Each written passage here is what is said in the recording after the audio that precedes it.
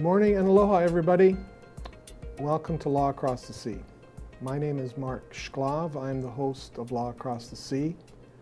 We have a program that we bring every other Monday talking about lawyers and law and lawyers who have crossed the sea for various reasons. Today my guest is Dr. Teng Biao.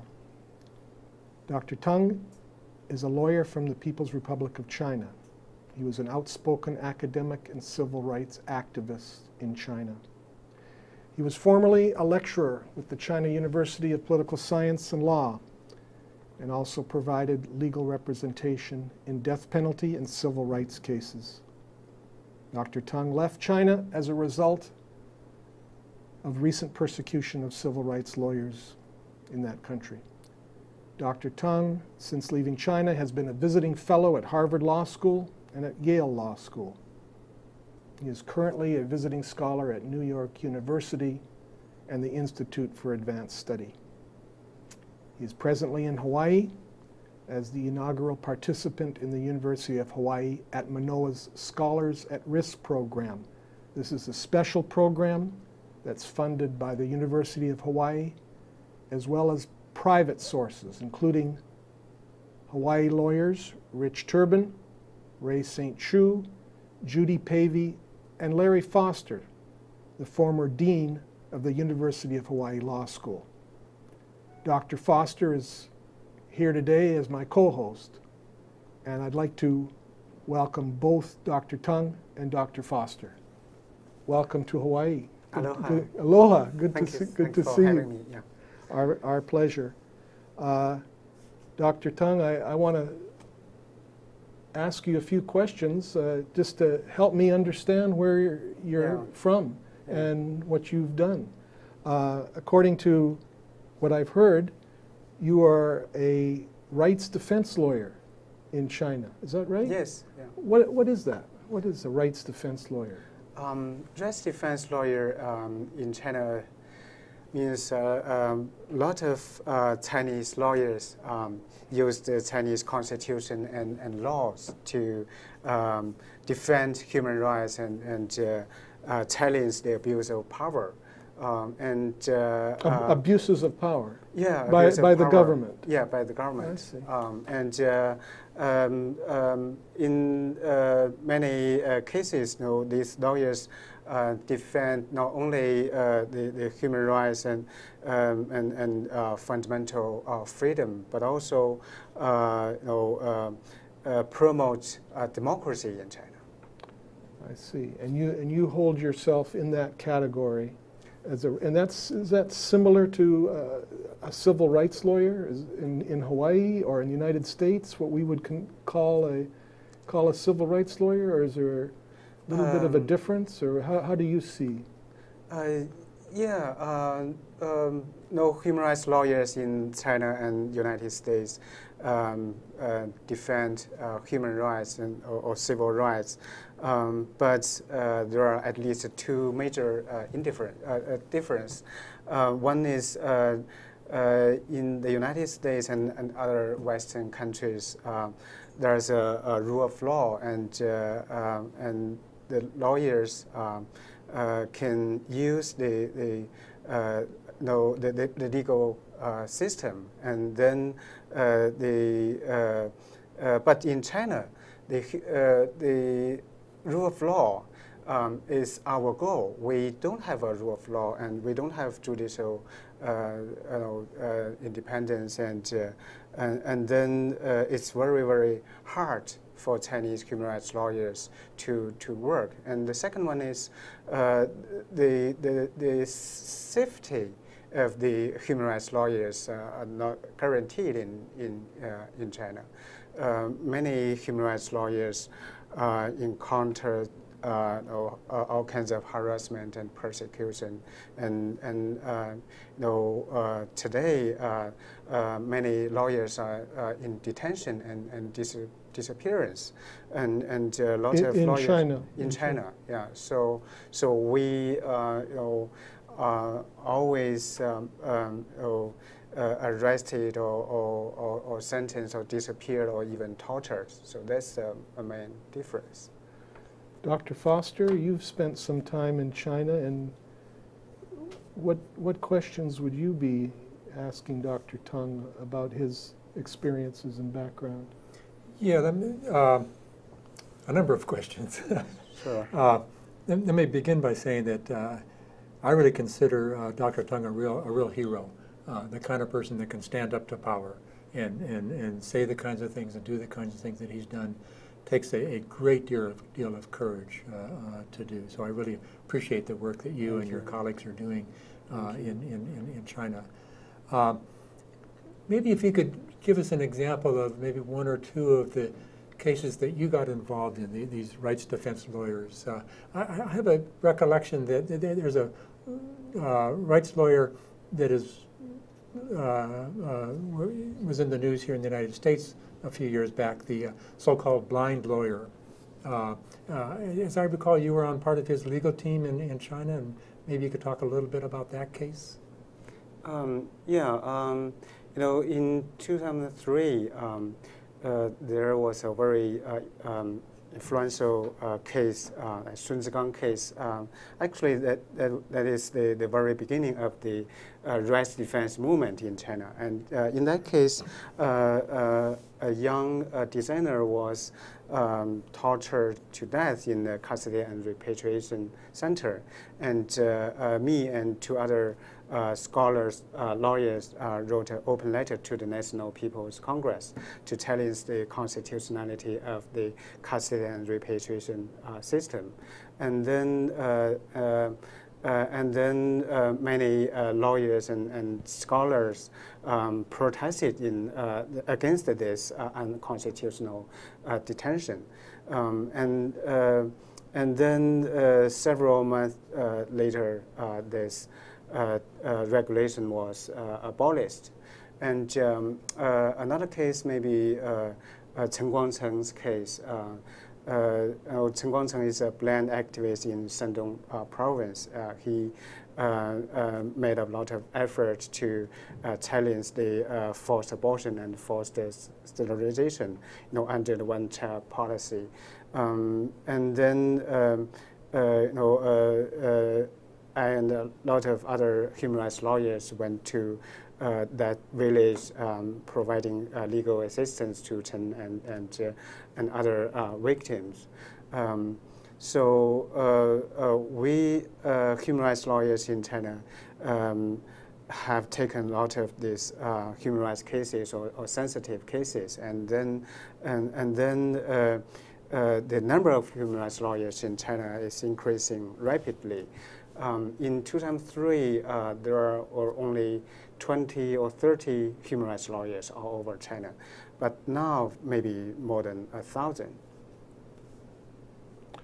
And and you you mentioned uh, that you started off with a letter in the in the newspaper. Is that right? Yeah. Or, uh, uh, it's an open letter open to the National People's Congress. I yeah. see. And was that how, how, was that published? I mean, was that in a, a newspaper or a, like a it's a, uh, a newspaper, uh, and um, uh, it's quite um, uh, subtle. You, uh, you, know, the, the newspapers, the televisions are totally controlled by the right. uh, Communist Party.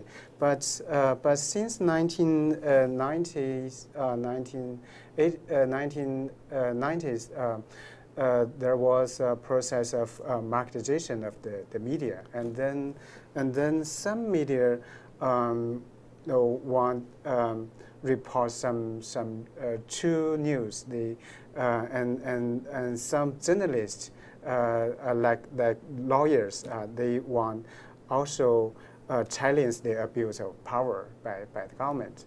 Uh, and and then um, and then the Sun Zhigang's death was uh, reported uh, in uh, Nanfang Dushi Bao, the Southern Metropolitan newspaper, and then uh, know, our open letter was also I published. See. So there is some opportunity to talk about these things in China.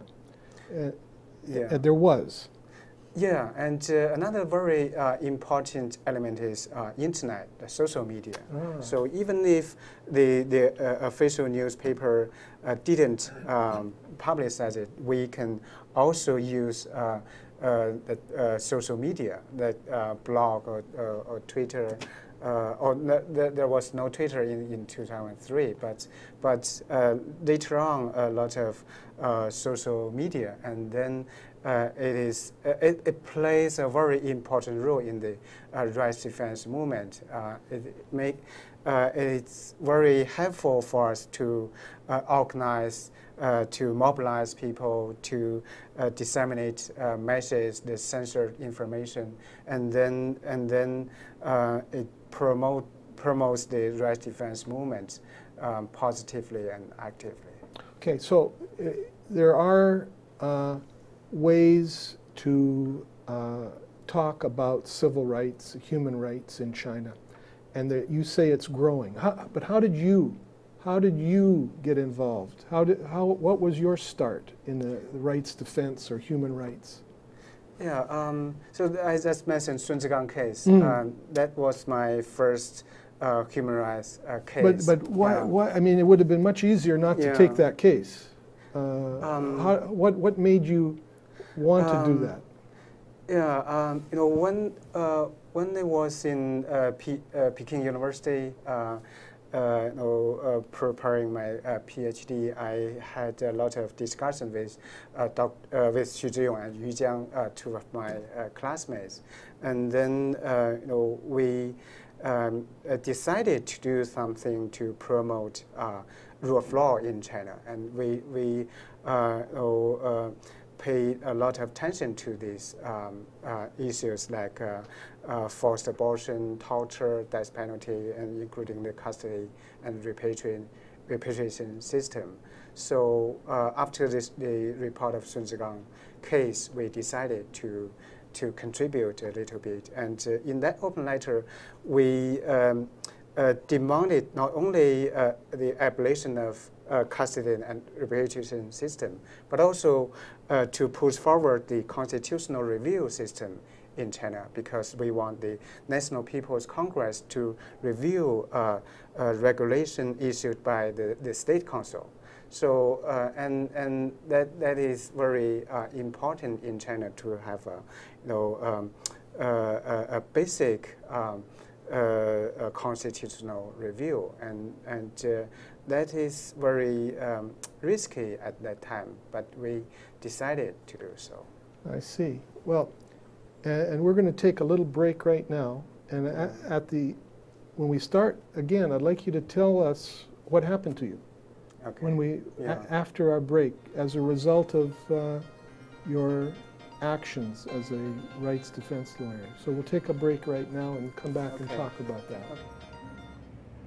Thank you for watching Think Tech. I'm Grace Chang, the new host for Global Connections. You can find me here live every Thursday at 1 p.m., where we'll be talking to people around the islands or visiting the islands who are connected in various aspects of global affairs.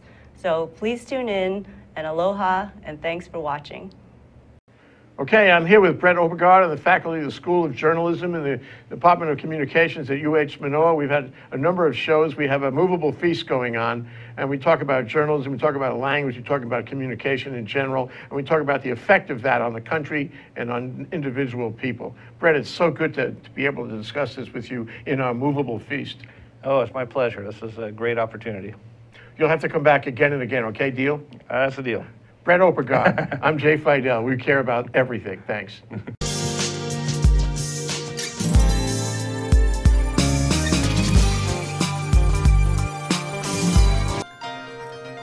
Well, Dr. Teng, welcome back to uh, Law Across the Sea uh, after our break. And I told you I'd wanted to ask you a little bit about what the results were of your of your actions. And I understand, I, I've heard that some lawyers in China get persecuted Yeah. because of Yeah. their the rights defense actions that they take. Yeah.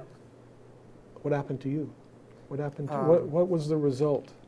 Yeah, um, since 2003, um, I had taken a lot of uh, sensitive cases, uh, and I uh, co-founded a couple of NGOs in, in China. Uh, uh, one is uh, Open Constitution Initiative, Gongmeng, and another is China Against the Death Penalty. And I um, focus a lot on um, torture, no, freedom of expression, religious freedom, and um, no, land rights. Um, I uh, defended for uh, Falun Gong practitioners, the political dissidents, and uh, uh, no, and the um, the victims of uh, miscarriage of justice. so, because of my um, human rights lawyering, I was banned from teaching and eventually I was fired by my university. Uh, I was disbarred. Uh, yeah. And, and so, excuse me, but so the, the yeah. cases that you were taking were contrary to what the government wanted. Is that correct? Or contrary to the government position? Um, yeah, yeah. Uh, and, and, and the government took this action to bar you from teaching? Yeah. I see. Yeah, okay. and I was uh, disbarred and uh, uh, I was put under house arrest and, and I was uh, kidnapped uh, um, actually three times and detained really? and, and, uh, um, and tortured. Yeah. What, what was what was what happened? I mean, what happened when you were kidnapped and tortured? What what was um, the result of that? No, uh, in 2008, um, uh, I tried to uh, uh, represent Hu Jia, another prominent uh, activist, and uh, and uh, then uh, I was kidnapped, and they uh, who, threatened who, me. Who kidnapped you? The secret police. Yeah, uh, Guoan Guobao, the, the secret police. and what did they do? So, uh, so when I uh, returned home after I, I, parked my car, I, you know, four people just uh, forced me into their, their car and put me uh, uh put a, a, a sack uh, uh, on my head and then and then detained me and I, I didn't know where I, I was. Did detained. you know who they were? Did you have any idea who they were? They they are from the secret police, but I I, I don't know their their names, their position, and and the same thing happened in in 2011 um, I was uh, also kidnapped and then uh, detained for 17 days. Uh, during the detention, I was put under uh, extreme of extreme form of uh, solitary confinement and, and physically and mentally tortured. And uh, I was forced to wear a, a handcuff and no 24/7. I was forced to sit down on the ground facing the wall uh, from 6 a.m. to, to midnight, 12 o'clock. Um, and uh, so a lot of uh, human rights activists were also uh, kidnapped and detained and tortured at that time. And what, what were they telling you? Or was were they telling you anything? Were they, was, was there, uh, did they say um, your, they, why you were there or give you any basis to make a, a decision on um, what would um, happen? Yeah, they uh, printed uh, all my articles and, and interviews and my, my, my, my uh, Twitter posts. And then uh, they, uh, uh, they said they can sentence me, they can, they can charge me with state subversion and, and sentence me up to 10 years and, and they didn't tell me uh, how long they, uh, they uh, would uh, detain me um, because it's not, uh, uh, not according to criminal procedure. I was not, not detained in a detention center. It's, it's, it's abduction and, and disappearance. Um, and they, they, so they, they try to stop me from um, doing human rights work. Did it work? Did this no, stop you?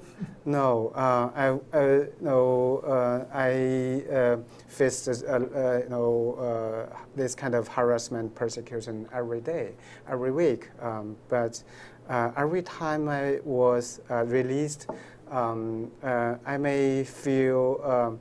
Uh, afraid for a while, but uh, but I didn't stop. And every time I uh, even went further, I, I took more and more uh, sensitive cases, and I uh, uh, even organized more um, protests and and you know participated in a lot of political activities. Did they ever put you up to trial or anything like that? No. And at some point, you decided to leave China. Or what, what, how did that come about? Um, in late 2013, I was um, visiting scholar in Hong Kong, and then a lot of my uh, colleagues, human rights lawyers, uh, were uh, arrested. And then uh, all of my friends um, advised me not to go back because if I went back, I would be uh, arrested uh, definitely. And then I uh, was invited by Harvard Law School, so I decided to come here. Okay, and you have a family in China?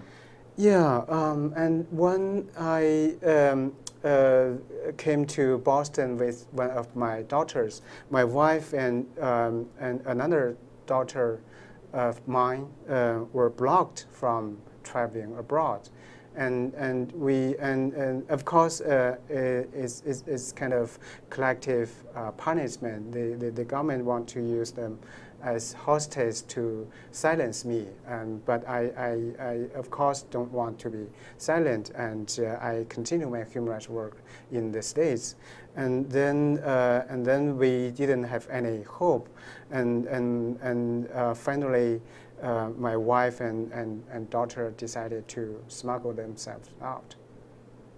And they joined you? Yeah, in Boston. yeah. Larry, what, what are your insights in this? What are your thoughts? Yeah, I don't know if I have insights particularly, but you know, there, there's, there are some interesting verbs that uh, Professor Teng is using uh, in terms of the, the, tactics used against lawyers. Uh, arrested, detained, or disappeared. Hmm. And disappeared is sort of a new word that came into the vocabulary in 2013.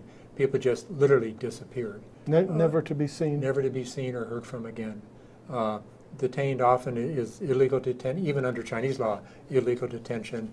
Um, nobody knows where you are. Nobody can talk to you. You have no right to a lawyer or anything like that. Uh, the lucky ones get arrested, and there's some sort of a more public process. Uh, but, but it's a very it's a very dangerous time for rights lawyers in, in China. So I, I was very heartened to learn that the uh, the number of rights lawyers is really increasing. Yeah. And, and, and that, that that's just a tremendously uh, uh hopeful sign for the future. Well, yeah. in that respect, what what do you see for the future of China? Uh, I, I, mean, speaking for myself, I have lots of Chinese friends, lawyers, non-lawyers yeah. in China. Um, I do not like to feel for them that their system or their government is oppressive. Uh, I was thinking that China was actually progressing, uh, yeah. moving, moving very well towards yeah. towards the future. Uh, what do you see? What what do you see for China for the future? What would you you know? What do you see? What would you like to see? Um, yeah. Um, on the one hand, um, you know, um, China has you know, uh, um, market economy and uh, then the, the so social media um, um, and of course it's, it's uh, uh censored and then uh, no, the, uh, the legalization, the recovery of uh, legal professions, and then the, uh, we have seen a, a, rising rights defense movement. Mm -hmm. um, and um, on the other hand, the, the, the Communist Party um, actually refuses the idea of uh, rule of law or democracy or constitutionalism, and it never stops um, uh, to uh, um, uh, suppress the civil society or the human rights movement, especially after Xi Jinping, Xi Jinping to his office in late 2012. actually, he started a, a, comprehensive crackdown on human rights lawyers. President Xi, yeah. Yeah, yeah, and the NGOs and underground churches and Tibetan and Uyghurs and uh, you know the all these uh, uh, uh, people um, oh, demanding democracy and, and rule of law in China. Um, um, especially uh, the, the, the, June, uh, the, the July uh, 9th uh, crackdown on lawyers. Mhm. Um, but uh, we, uh, we can see that the, uh, this kind of severe crackdown uh, didn't stop the, uh, the human rights activists in, uh, in, in China. And, and, and people continue to, to stand up to fight for uh, their fundamental rights and, and, and freedom. Um, so I believe uh, Chinese people will achieve um, freedom and democracy, and uh, and there may be a, a, long way to go. But the Communist Party can't prevent uh, Chinese people from um, oh, fighting for democracy. So well, that well that is hopeful for for me, uh, and Yeah. I, I I would like to see that happen. And Yeah. the idea of of democracy uh, maybe when China started to open up few years ago, maybe that idea got in, uh, and and it seems to, according to what you've said, then there, there's a growing number of of younger lawyers. Would that be right? That are yeah, yeah. think, thinking along those lines that democracy is a good thing, and that the rule of law is something that we should aspire to. Is that is that, is that a correct Um, assumption on my part? Um, yeah, uh, though Chinese government uh, tries its best to brainwash uh, Chinese people, and uh, but uh, more and more Chinese people, both young and, and old, uh, realize the importance of democracy or, or rule of law, and and then. Um, and then, you know, the, this kind of political system and, and legal system um, uh, violates um, people's rights uh, every day. And then, Right. then people will stand up to fight for their own rights and others' uh, rights. Um, so, um, so uh, I have seen clearly that more and more people uh, will. Uh, you know, support democracy and do something for democracy In China. in China. yeah. And do you think they'll be able to see our program in China? Do you see, I think they will be able to see this program maybe? Yeah, yeah. Um, so some some Chinese uh, people, especially uh, uh, activists, uh, can uh, use kind of software or VPN to escape the GFW to uh, you know to access to the, the censored programs and information, and that's that's the, the hope. Yeah. The uh, GFW is the Great Chinese Firewall Yeah, right. that uh, blocks everything bad. yeah. Well, hopefully our program can get in uh, and they can see that you're here with us in Hawaii. And I want to thank you very much for coming today.